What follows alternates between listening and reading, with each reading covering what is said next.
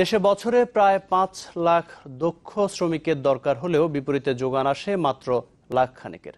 তাই বিশাল ঘাটতি পূরণে নির্ভরতা থাকে শ্রম আমদানিতে, কিন্তু তার সমাধানে নেই পর্যাপ্ত সরকারি বিনিয়োগ।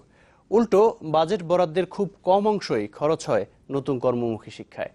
তাই এক্ষেত্রে নতুন সম্ভাবনা তৈরি করেছে ব্যাংকগুলোর সিএসআর কর্মসূচি। কেন্দ্রীয় ব্যাংক বলছে, বছরে ব্যাংকগুলো গড়ে দেড়শো কোটি টাকা খরচ করছে শিক্ষা খাতে। এর সিংহভাগই যাতে কর্মমুখী শিক্ষায় খরচ হয়, শিগগিরই দেয়া হবে সেই নির্দেশনা। ইকবাল হাসানের রিপোর্ট। সুয়ার সুতোর সূক্ষ্ম বন্ধনে নিজের জীবন সাজিয়েছেন শারবিন।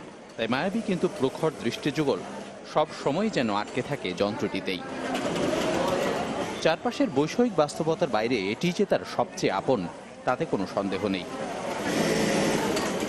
আয় কিংবা আত্মবিশ্বাসে। এই পাঁচ বছরে শারমিন এগিয়ে গেছেন তার সমসাময়িক সহকর্মীদের চেয়ে। কারণ কর্মক্ষেত্রে আসার আগেই তার ভিত শক্ত হয়েছিল ইউসেফ বাংলাদেশ নামের প্রতিষ্ঠান থেকে কারিগরি শিক্ষা নিয়ে। একটা নতুন অপারেটর কেবল বেতন ধরেন পঁচিশ ছয় হাজার আমার ছয় হাজার থেকে উপরে। অবাই তেমনি দশ হাজার টাকার থেকেও বেশি পাই। নতুন অপারেটর আর ঠিক সেটা পায় না। শারমিনের পথে হাঁটতে মাত্র এগারো বছর বয়সে একই রাজ্যে প্রবেশ সাদিয়ার। স্বপ্ন বাবা মায়ের নুনান্তে পান্তা ফুরোনোর সংসারে নিজেকে প্রতিষ্ঠা করা অনন্য উচ্চতায়। তাই মাস তিনেক হলো তারও যাওয়া আসা ইউসেফের গাজীপুর প্রশিক্ষণ কেন্দ্রে, যেখানে তার মতোই হাতে খড়ি হচ্ছে আরও ষাট শিক্ষার্থীর। শেখা থেকে চাকরি পাওয়া পর্যন্ত যার পুরো খরচে দিচ্ছে সিটি ব্যাংকে এনে সামাজিক দায়বদ্ধতা কর্মসূচির আওতায়। আমি এখানে কাজ শিখে আমার বাবা মাকে সাহায্য করব, নিজের পায়ে দাঁড়াবো, চাকরি করব।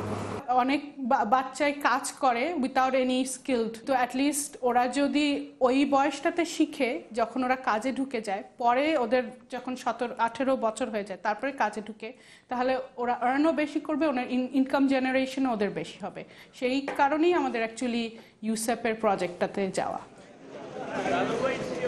কর্মজীবনে প্রবেশের আগে সাদিয়া বা শারমিনের মতো প্রশিক্ষণের সুযোগ নেই সবারই। কেননা, অভাব যেমন প্রতিষ্ঠানের, তেমনি বিনিয়োগের।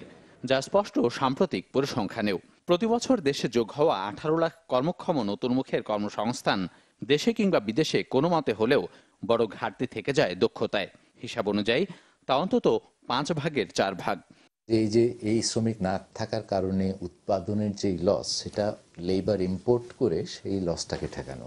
কাজে এটা যদি আমরা নিজস্ব শ্রমিক দিয়ে করাতে পারতাম তাহলে যেই বেতনটা দিচ্ছে ওদেরকে, ওই বেতনটা তো আমাদের দেশের ভেতরেই খরচ হতো এবং তার ফলে আরও নতুন কর্মসংস্থানের সৃষ্টি হতো।